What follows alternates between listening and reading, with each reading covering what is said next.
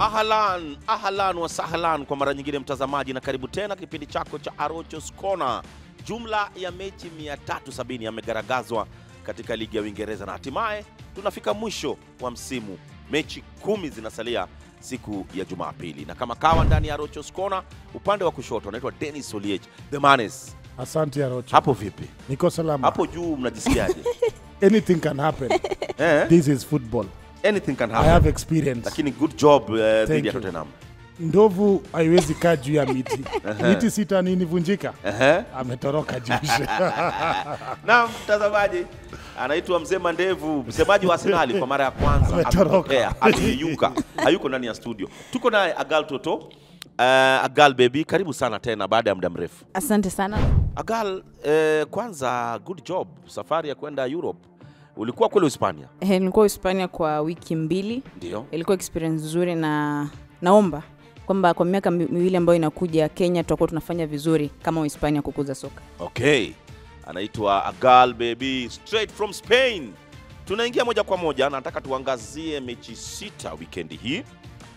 Uh, tuanze na mechi kubwa kwa mtizamo wangu. Arsenal anapiga dhidi ya Everton. Dennis, leo, acha mimi nianze Arsenal jusha yuko. Arsenal wanashinda.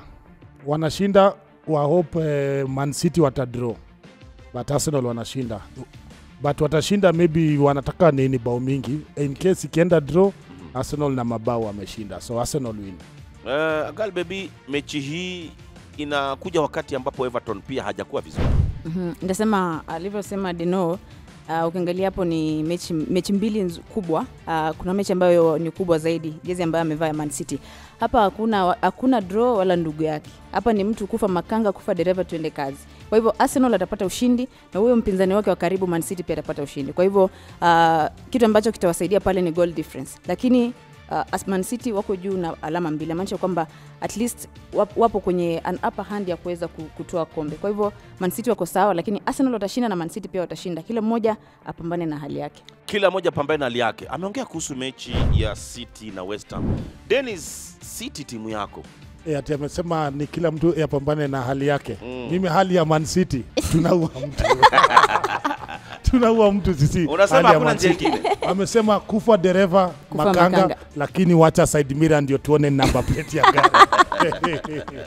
Haya, hatimaye Manchester United alipata ushindi katika mechi yake iliyotangulia hii alipomfunga Newcastle mabao tatu kwa mawili.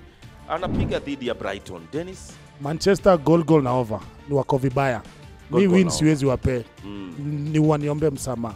Okay. Goal goal na over inaingia. Agali baby, timu yako angalau ilipata ushindi dhidi ya Newcastle. Ilipata ushindi lakini tulisuasua, na ukiangalia Ten Hag ana kazi kubwa sana ya kuweza kuinua Manchester United msimu ujao. Hii ni mechi ambayo pia siwezi ipatia Manu uh, ushindi kwa sababu wanasuasua, hawaeleweki. Ile siku ambayo unadhani watapoteza wanashinda, ile siku ambayo unadhani watashinda wanapoteza. Kwa hivyo hapa ni GG. GG. Chelsea anapiga dhidi ya Bournemouth. Kwa nini naanza na wewe eh, Agal? Chelsea ni baadhi ya timu ambazo kwa sasa tunaona kidogo wanashtua shtua. Ukiangalia Chelsea kwa mechi kama nne hivi ambazo zimepita, nne tano ambazo zimepita, wamefanya vizuri, na hii ni uh, Mauricio Pochettino anatuma onyo kwa timu msimu ujao. Akiweza kusuka kile kikosi vizuri, msimu ujao utakuwa vizuri. Kwa hivyo anaipigia upato uh, Chelsea wakiwa nyumbani uh, Stamford Bridge. Dennis, Agal Toto niko naye. E, unakumbuka nikiweka top ya nini e, ya Chelsea pale juu mm, next year wanafanya mambo. wako sawa. Chelsea wa confirm sana. The last 14 games wameluse mbili.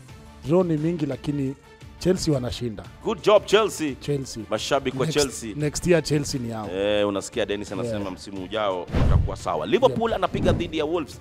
Mimi Liverpool naisuta naisuta naisuta, ni timu ambayo iliachilia ligi. Agal, Iliachilia ligi na ukiangalia Jurgen Klopp anatoka msimu huu, na tulidhani kwamba angeshinda ligi aweze kuondoka vizuri na taji lingine, lakini mwisho wa siku wanasuasua, lakini wapo nyumbani, wanasema kwamba wakiwa nyumbani siku zote lazima ni alama tatu.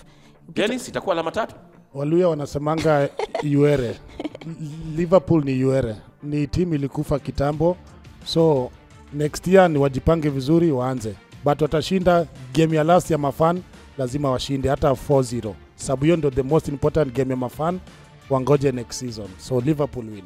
Hatimaye mechi ya mwisho ambayo tunaangazia wikendi hii ni mechi kati ya Sheffield na Tottenham Hotspurs. Hotspurs waliwaudhi sana sawa mashabiki wa Arsenal. Agal, nini inamfanyikia Tottenham Hotspurs? Tottenham Hotspurs wanasuasua na ukiangalia uh, mashabiki wa Arsenal walikuwa na washabikia sana Tottenham waweze kuwashikilia City, kitu ambacho hakikuweza kufanyika.